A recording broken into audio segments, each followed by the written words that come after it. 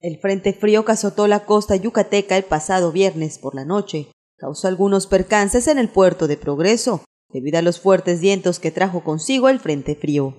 Entre estos percances, uno de los más notorios fue el desprendimiento total del toldo del Parque Morelos, el cual por segunda ocasión fue arrancado por fuertes ventiscas, siendo que en la última turbonada que azotó en el puerto meses atrás, el toldo también cayó y no se reforzó para aguantar los fuertes vientos.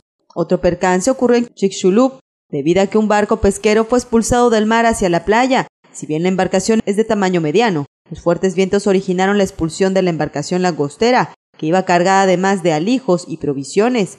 La embarcación fue recuperada después por los pescadores. Además de algunos árboles y palmeras que cayeron, no hubo daños mayores en el puerto, que vive uno de los frentes fríos más intensos de este año. Con imágenes e información de David Correa, Notivisión.